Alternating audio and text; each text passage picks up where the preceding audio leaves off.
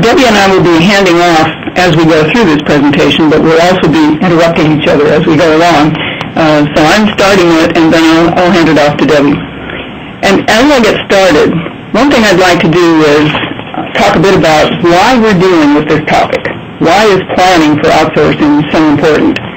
Uh, I'm looking at, at a report that I pulled from the web this week that is a 2008 outsourcing report from Deloitte Consulting. And I want to just read a paragraph for you from that report, which highlights why this is so important. They point out that the RFP is the starting point for selection. They say the selection process begins with the creation of an RFP that incorporates the company's strategic requirements and should be based on the outsourcing business case. There is significant room for improvement in this area and this is based on their interviews with 300 executives who are doing outsourcing. Uh, they point out that roughly half the vendor executives interviewed say that the RFPs they receive tend to be poor guidelines for what the companies who are doing acquisition really want. Many vendor executives felt that clients often lack a clearly defined outsourcing strategy, which is essential to developing a solid RFP. So in their, in their report, Deloitte looks at the lessons learned that these executives, acquirer executives, are citing, what would they do differently if they had to redo their outsourcing initiative? 49% of them say they would define more realistic service levels that align with business goals. 39% say they would define and align the business goals with their outsourcing strategy. 37% say they would develop, plan, and staff for service and contract management better and 35% say they would spend more time on vendor selection and evaluation. So what we're finding is that they are concerned about doing things well um, at the start. So our focus today is what do you need to do at the start of the acquisition life cycle so that you get the right things into your plan and into your contracts so what we're dealing with here is a segment of the life cycle for an acquisition project that has input based on what the business is trying to do.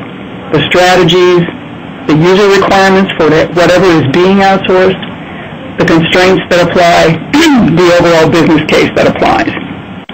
What we'd like to get as output from this phase of the life cycle is a good approach, an agreed on approach that matches our business strategies gives us a full acquisition plan for the life cycle of what we're doing. So our goal in this session is to talk with you about the steps between the input and the output. Uh, how do you look at the alternatives for sourcing?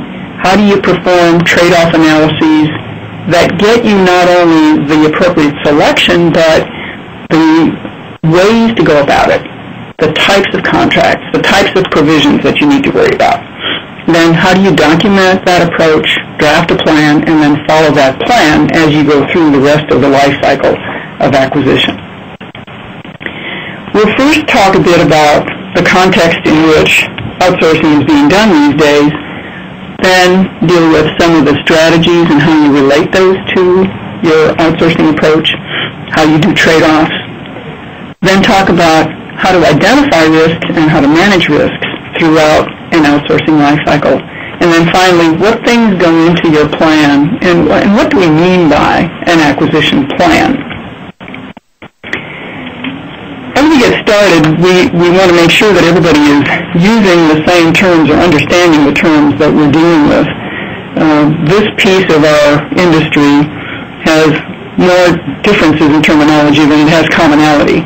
Uh, some of the ISO standards are, are helping us get to common words for things like acquirer and supplier, uh, but still there are, there are a lot of different terms used in, in different organizations.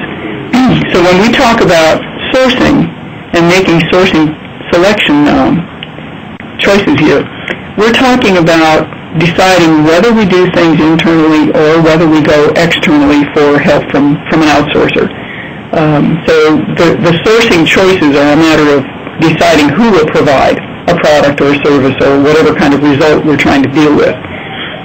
People sometimes talk about this as the make-buy decision. So do we deal with it internally? Do we make it? Do we buy it? Acquirer is the term we're using for the organization that is getting the product or service, that is acquiring it, the buyer, the customer, the client to the vendor, and so on. Uh, outsourcing, getting it externally, and supplier, that entity which provides the service or product externally to the organization that's, that's acquiring it. So it's the other side of the acquisition. So as I was saying, sourcing is deciding where it should be done, internally, externally, and how you go about it. So your alternatives include things like building it yourself internally or providing the service internally, perhaps adapting something you already have. So if you have the skills and abilities, that's generally the approach you'll take. These days, you also have a lot of alternatives available from the web, from new web services, from software as a service, from ASPs, that you can collect together into a solution and not have to pay somebody to build a solution for you. So if you can make a solution with an appropriate collection or a mashup of the options that are out there, uh, quite often that's a very effective and economical sourcing alternative. In some cases, you can buy an off-the-shelf product, a COTS product, or you can buy one and have it configured by somebody who understands that product. For the last decade or so, that's been a very common way to handle the large enterprise solutions, the ERP solutions for organizations. And then finally, there are several that you can, several ways you can have a supplier build a custom solution establish your requirements, get it built either incrementally or all at once. Um, and something else you might find useful is to outsource a full business process, the thing that's called BPO or business process outsourcing these days. So there are many alternatives to think about, and among those alternatives, you have internal ones and external ones. So when we look at the world of, of IT, we often think about why do people outsource and how well is that working? Certainly people are outsourcing in areas other than IT these days. Manufacturing of children's toys, for example, that we all hear about. But I think we get an, an awful lot of good data about what's going on in the world of IT, some of it which transforms and translates to other areas. Uh, we're citing here some data from a 2007 survey done by CIO Insight where they were asking, yet again, uh, after doing it for several years, why are people outsourcing? And as they outsource, where are the challenges, where are the benefits? So talking to about 400 organizations here, evenly split among small, medium, and large businesses, um, they were asking, why are you doing this? What, what's the, the driver for you, if you will? And among the reasons we see things like freeing up our people to do other things. So thinking about, for an organization, what are the core competencies we have that we care to put our resources in? And where we don't care to do that, we'd like to outsource it to someone else who can handle it. The second reason, reducing costs. The third reason, adding capacity, doing work that we can't get done in-house. Um, so going externally for supplemental resources, perhaps.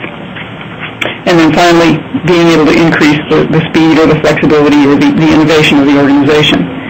So those are respectable, helpful, interesting reasons to go after outsourcing, um, and they probably do tie very well to the business reasons, the business strategies of the organization trends that, that CIO Insight was seeing when they looked at it over prior years was that outsourcing was rising.